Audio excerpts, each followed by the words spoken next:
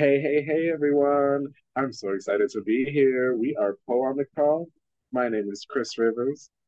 And I'm Mændy Mac. Yes. And we are here for a new episode on the topic of why you should take classes with other instructors and studios. Woo! Yes, a very important topic for probably any trade, but in particular today we're going to be talking about pole dance um, and why it's imp- important for you to take from other teachers and learn other styles and um, broaden the horizons of your pole dance bubble. Yeah.